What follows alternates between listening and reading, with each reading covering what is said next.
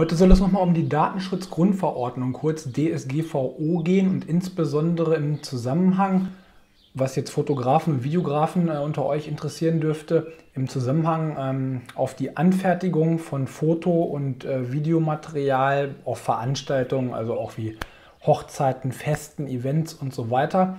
Und da hatte ich ja einigen von euch geschrieben, dass ich da nochmal so Rückmeldungen für die Community gebe, sobald ich da was Neues gehört habe. Ich bin da kein Experte oder so. Ich habe da nur halt mit Leuten gesprochen, die sich hoffentlich damit auskennen.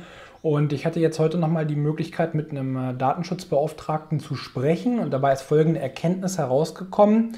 Und das hatte ich vorab auch schon mal gelesen und ich habe es mir jetzt nochmal bestätigen lassen von diesem Datenschutzbeauftragten. Es ist jetzt folgendermaßen für euch als Foto- oder Videograf, wenn ihr irgendwie Bildmaterial anfertigt, Hochzeiten, Veranstaltungen und so weiter, ähm, ich hatte vorab schon gelesen und den Link zu dem Artikel packe ich euch auch unten in die Videobeschreibung. Hatte ich gelesen, dass das Bundesinnenministerium in einem FHQ schon klargestellt hat, ganz offiziell, völlig offiziell, ich zitiere, die Annahme, dass die DSGVO dem Anfertigen von Fotografien entgegenstehe, ist daher unzutreffend.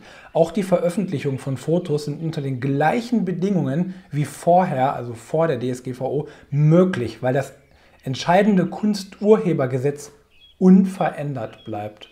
Also da trifft an dieser Stelle keine Änderung ein. Was bedeutet das für euch? Das gleiche wie vorher auch. Habe ich mir heute auch nochmal bestätigen lassen und ich hoffe, das stimmt so. Und das könnt ihr nochmal unten drunter schreiben.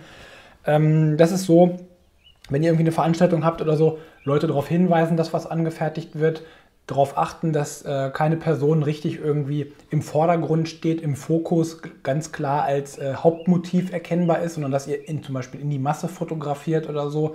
Also die gleichen Geschichten wie vorher.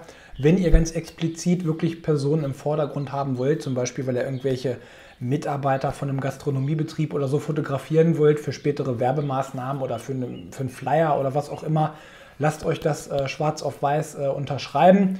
Ähm, Formular, da gibt es ja auch Vorlagen, dass der Mitarbeiter dann unterschreibt.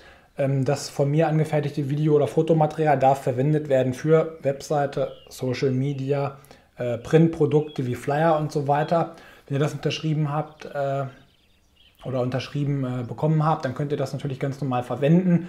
Natürlich kann auch da derjenige später seinen Widerspruch gegen einlegen. da müsste man die Seiten äh, von, ähm, von der Webseite nehmen, äh, die Fotos, Entschuldigung, von der Webseite nehmen.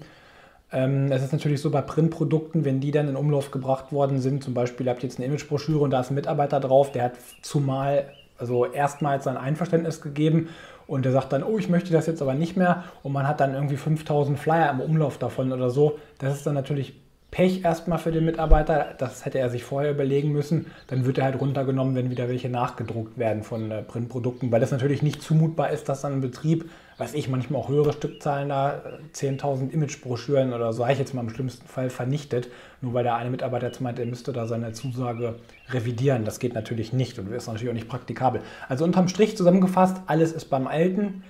Fragen und darauf hinweisen ist nie verkehrt. Wenn ihr irgendwo seid, Achtung, wir möchten jetzt hier ein bisschen äh, Fotoaufnahmen machen, Videoaufnahmen machen, sind Sie damit einverstanden? Wer nicht, geht jetzt bitte hier einmal aus diesem Bereich raus oder so. Und ansonsten, wenn ihr in die Allgemeinheit fotografiert, was auch für andere Sachen äh, gilt, Kunsturhebergesetz, schaut da mal rein. Es bleibt alles unverändert.